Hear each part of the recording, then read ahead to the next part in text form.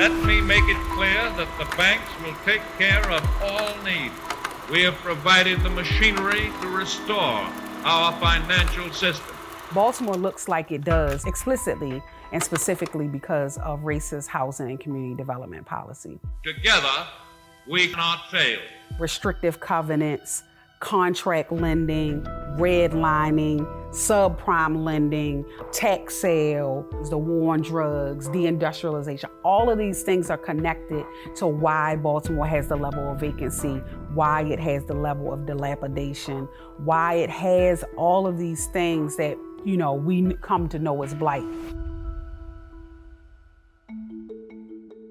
Blight is the condition or state of property in community when it's not being used to its fullest or its highest use for the people who live in community. In Baltimore, blight is most prevalent in a collection of neighborhoods known locally as the Black Butterfly.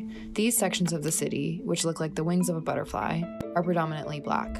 Blight can look like a empty school building. It can look like the presence of five or six or 10 liquor stores in a neighborhood where there's no full service grocery store. It could look like a building that is uh, what we call a blue sky house, which means when you look at the top floor of the building, you can see the sky because the roof is gone. It can look like a property that is simply boarded up and not being used for whatever its zoned purpose is. This is Nneka N'namdi, the founder and COO of Fight Blight BMore. Her fight against blight began on Mother's Day in 2016 when she was on her way home and saw something that worried her. I noticed two children on foot and two children on bikes. They were passing a huge demolition site they put them temporary fences up for all them construction projects downtown, but yet over here, we can't get a fence. Nothing to let the children know that the site was dangerous. N'namdi began an effort to document and report blight, which ultimately led to her founding Fight Blight BMore.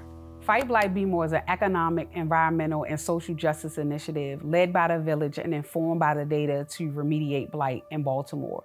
We have four primary functions Probably the most important thing that we do is really work with community to break down why blight exists, how it came into being, and what its true impact on community is. And so we spend a lot of time doing presentations and workshops or even taking people on what we call hood hikes to really look at and talk about and pull that thread of history through when we look at the public health implications of blight, we find that we have three times the national average in childhood asthma. The neighborhoods with highest concentrations of blight are the neighborhoods with the lowest life expectancy.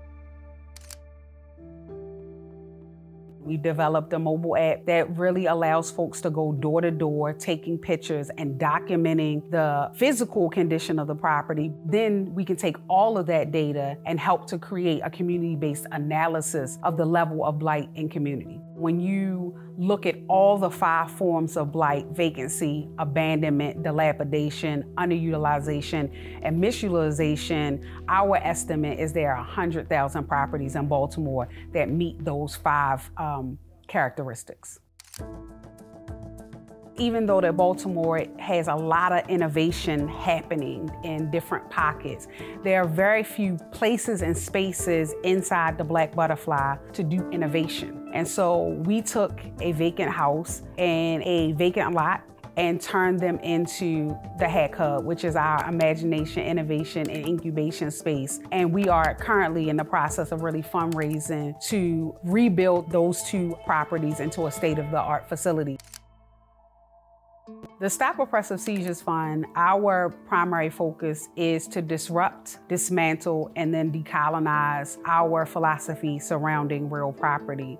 And in the manner of disrupting, we are working through the tax sale bailout to support homeowners who are unable for whatever reason to pay their property taxes, while we are working with other advocates to force the city and the state to abolish the tax sale as we know it.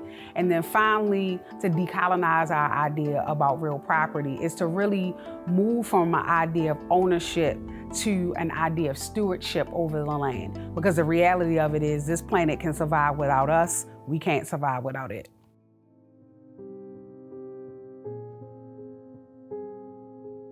Probably one of the most damaging aspects of blight is the lived experience of people in communities as it pertains to like how people socialize and how people are able to connect to one another.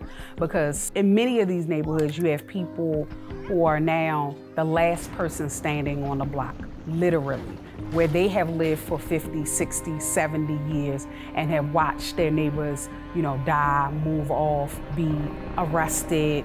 And so there's a sense of loneliness. Blight, in a way, destroys the fabric, the substance, the things that make people connect or stick together. And so it's important to center community in the work and it's important to do the work as community because the reality is human beings are designed to organize to have our needs met. So a lot of times when people think about development, they're talking about real estate development. When we say development, we're talking about community development. The fight against blight is actually a fight for healthy, whole, vibrant communities.